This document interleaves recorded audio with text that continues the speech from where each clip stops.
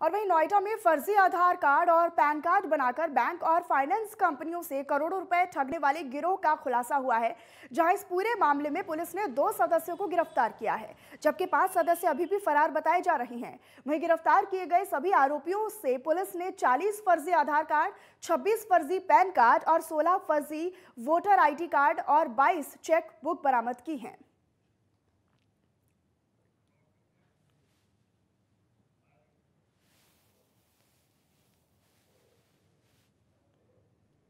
और वहीं बहुजन समाज पार्टी के अध्यक्ष मायावती ने पूर्व कैबिनेट मंत्री और गोरखपुर के एक बड़े राजनीतिक ब्राह्मण परिवार के सदस्यों को अपनी पार्टी से बर्खास्त कर दिया है। कुछ दिनों से इस बात की चर्चा जोरों पर थी कि हरिशंकर तिवारी परिवार की समाजवादी पार्टी से नजदीकियाँ बढ़ रही हैं और जल्द ही बसपा विधायक विनय शंकर तिवारी सपा में शामिल होने जा सकते हैं। लेकिन देर रात बसपा अध्यक्ष मायावती ने इस आशय का आदेश जारी कर दिया है। बहुजन समाज पार्टी ने गोरखपुर ज़िले की